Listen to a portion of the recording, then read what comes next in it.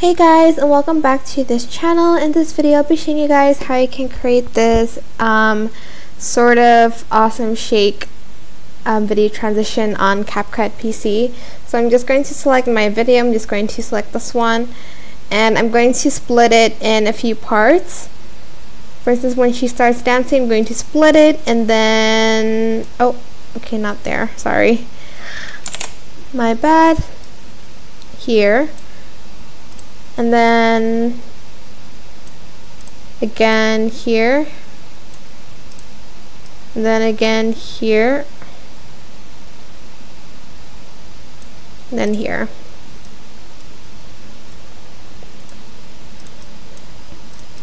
And I might adjust the speed a little bit for all of them. 0 0.6 0 0.6 Actually, I'm going to add in the speed leader because it's going to be, we're going to use the curve speed instead. So we're just going to go to animation and add in a swing bottom video transition. Make it really like short, around 0.2 or 0.1 seconds, up to you. Again, I'm going to do it here and then also here.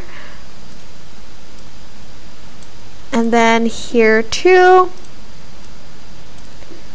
And then after that, I'm going to go to Effects, Video Effects, and I'm going to go to Basic, and I'm going to add in a slanted blur um, effect to it. I'm just going to put it at the beginning of the video. But like of each video. And then I'm going to make sure it's super short. Put the blur on 100 and the rotation at 50 I'm just going to copy and paste that to all of the other clips just kind of have it around the same size as your video um, animation, like as the in animation, that's what I meant.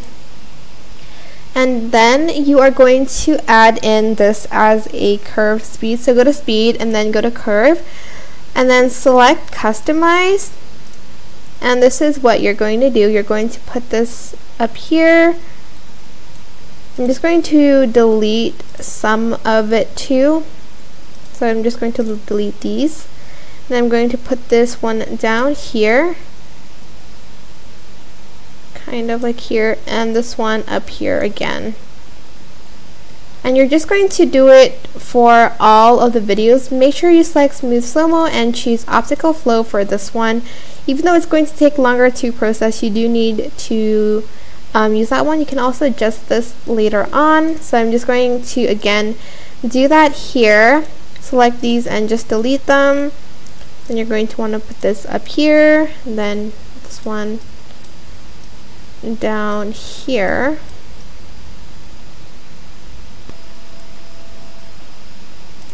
Um, make sure your clips are a little bit longer than mine. Um, you can also add in slow motion before so your clips aren't as short. But that is kind of it for this tutorial. I hope it was sorry I hope this was helpful for you guys don't forget to like comment share and also subscribe to this channel if you haven't done that if you have any questions just leave it in the comment section down below and I will try my best to answer them all for you guys if you found this video helpful please click the thanks button above the description box down below Thank you so much for watching. Bye!